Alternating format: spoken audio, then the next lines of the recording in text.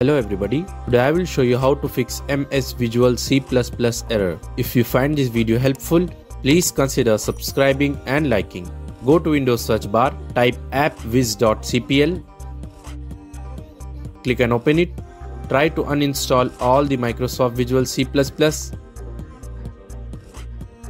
Go to Windows search bar again, type regedit, click and open it Copy the registry path from description and paste it.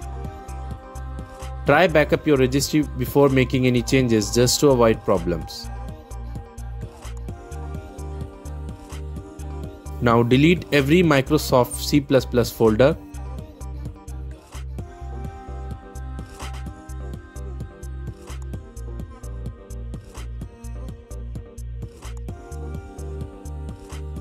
Restart your computer.